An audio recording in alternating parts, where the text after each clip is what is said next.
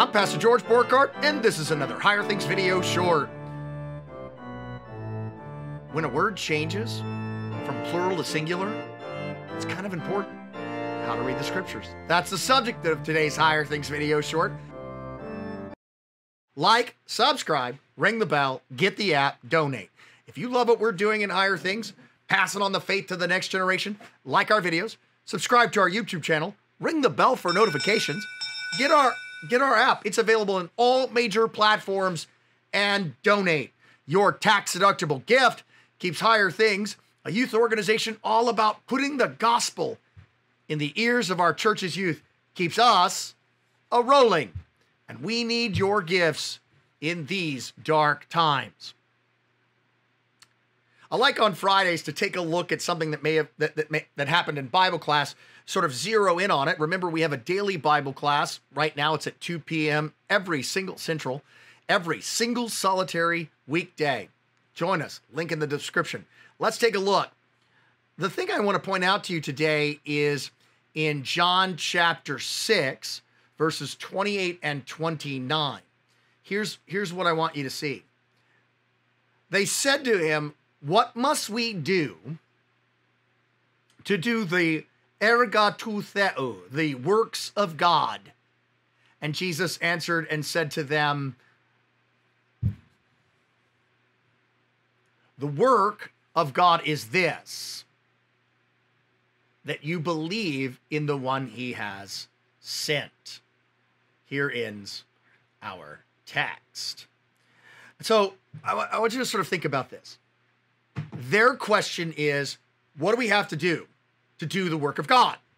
His response changes the word work to singular. The work of God is this. This is very important. The distinction between plural works that we do and singular work that God does is, is something that you don't want to miss.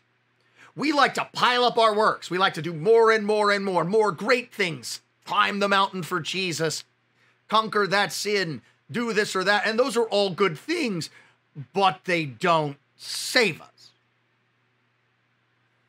What must we do to do the work of God? The answer is that Jesus changes their, quest- their question and switches it from their working the work of God to God working the work of God. The work of God, singular, is this that you believe in his Son, the one that he sent. This occurs also in Galatians 5, uh, where, they, where the fruit of the Spirit is in contrast to the works, plural, of the flesh. The things that we do, the sins that we do, works, plural, lots of stuff. We're doing them the work that God does, the fruit that comes from faith, is singular. And so I guess the way to think about this is that everything flows from faith, everything flows from Jesus. We all want to be better people. I want to be a better person. Sometimes I look at myself and say, like, I'm a pastor and I'm this awful. I need Jesus too the answer to our longing to be better, the answer to our longing to do good, is not that we pull up our bootstraps, submit to God, and start, get out there and go. The answer begins and ends with the Alpha and the Omega, the beginning and the end, Jesus. How must we do the work of God? Well, the work of God is this that you believe. God's working that you believe is God's working. And that starts the dominoes down the path to, to do the things that you want to do to love your neighbor better. But you don't start loving your neighbor and then get back to faith. Faith is the source, the good, the beginning and end of everything, Jesus. And then everything flows from there.